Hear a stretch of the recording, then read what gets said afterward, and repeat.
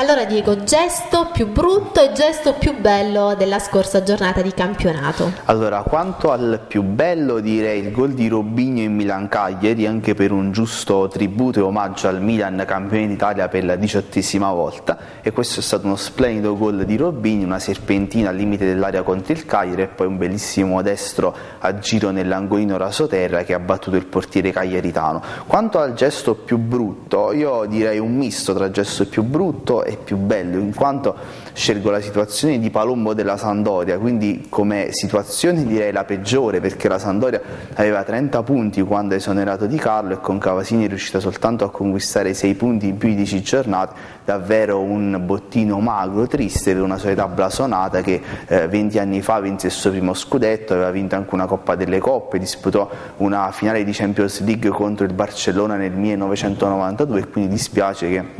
una società importante e blasonata del calcio italiano vada in Serie B, però nel conte- nel, allo stesso tempo a me è piaciuto il gesto di Palombo che in lacrime come capitano della Sandoria si è fatto carico praticamente lui di quasi tutte le responsabilità della squadra, è andato sotto entrambe le curve, la gratinata nord e sud del Marassi e in lacrime ahimè purtroppo è stato appunto anche poi applaudito giustamente dalla tifoseria blu cerchiata. Tutti i tifosi erano commossi. Sì, erano commossi, ovviamente piangevano sia per la disperazione della Serie B, ma sono stati credo anche poi stupiti, meravigliati da questo gesto molto bello, devo dire, di, di, di Angelo Palombo, il capitano della Sandoria, e quindi sicuramente ecco, è stata una cosa eh, diciamo bella come gesto sportivo, ha dimostrato un grande fair play il pubblico della Sandoria. È brutta la situazione della Sandoria perché aveva 30 punti eh, non meno di 10-12 giornate fa, ne bastavano 10 per salvarsi, ne ha conquistati solo 6, quindi devo dire onore e merito poi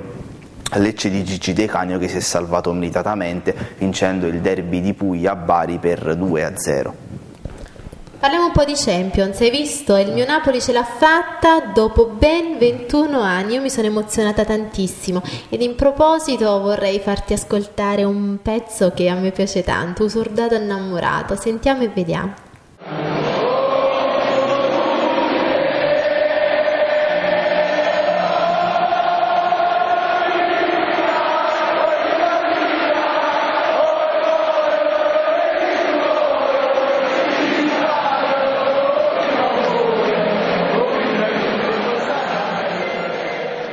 E dopo aver sentito queste bellissime note, eh, proiettiamoci sul futuro. Eh, la prossima sarà l'ultima giornata di campionato. Parliamone un po', Diego, cosa ti aspetti? Ma ormai diciamo che c'è poco da aspettarsi, in quanto i verdetti più importanti sono stati già segnati. Milan, giustamente, come abbiamo detto prima, campione d'Italia, ha vinto con merito questo scudetto, è stata in testa per circa 5-6 mesi, era già campione d'inverno e dobbiamo dire che è stata anche brava la società fatto un'ottima campagna acquisti, soprattutto i due acquisti nell'ultimo giorno di mercato, Ibrahimovic e Robigno, che sono stati determinanti insieme a Pato per la vittoria dello scudetto, anche perché poi sia Ibrahimovic sia Pato sia Robigno sono i capocannoni del Milan, tutti e tre con 14 marcature ognuno. Poi azzeccato è stato anche l'acquisto di Van Bommel al centrocampo,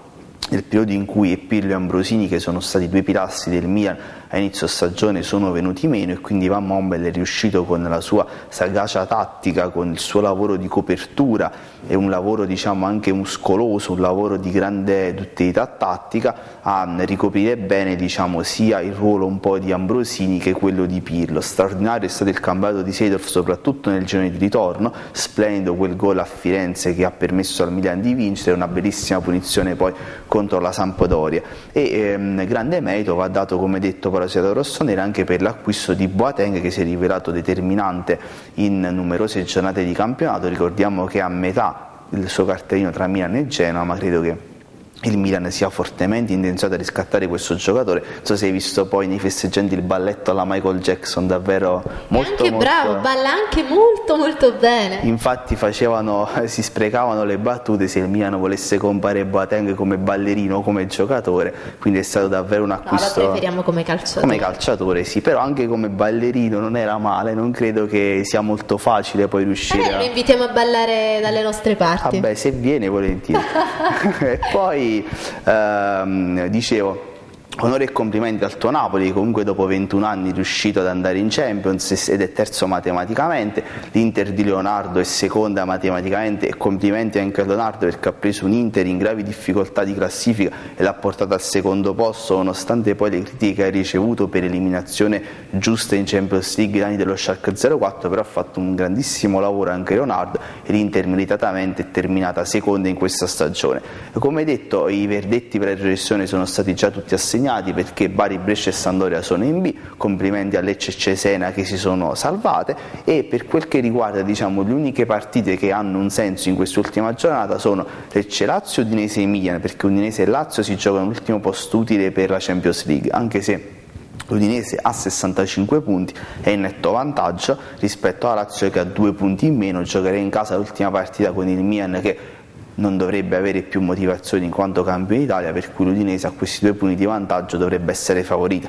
così come la Roma che gioca in casa con la Sandoria che è retrocessa le basta un punto per essere matematicamente in Europa League, per cui diciamo che l'ultima giornata di campionato non ha più quella suspense tipo 5 maggio che per i nostri colori bianconeri furono straordinari, ma sarà una giornata di campionato credo all'insegna dell'ordinaria amministrazione perché come detto lo scudetto e le retrocessioni che sono sono poi i posti più importanti no? di, di, di, una stagione, sono stati già sei traguardi più importanti che le squadre tendono a raggiungere in una stagione sono stati già assegnati.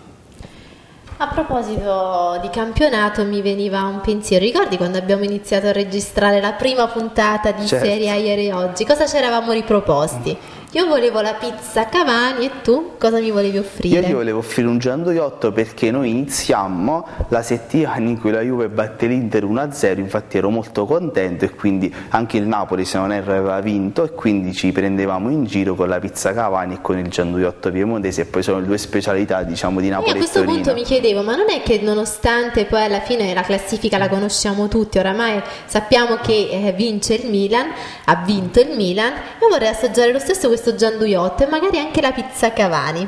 Ah, secondo me si, si, può fare, il problema è che siamo in campagna, quindi per la pizza Cavani è più facile, per il Gianduiotto ti prometto che appena andrò a Torino nel nuovo stadio a vedere la Juve te lo porterò sicuramente. Siete miei testimoni, comunque anche questa puntata di Serie A ieri ed oggi, l'undicesima puntata volge al termine, vogliamo ringraziare anche oggi certo. Gaetano Pellegrino per la sigla, per le riprese, la regia ed il montaggio. E quindi buon campionato a tutti e buon proseguimento con i programmi di Sole TV. Alla prossima!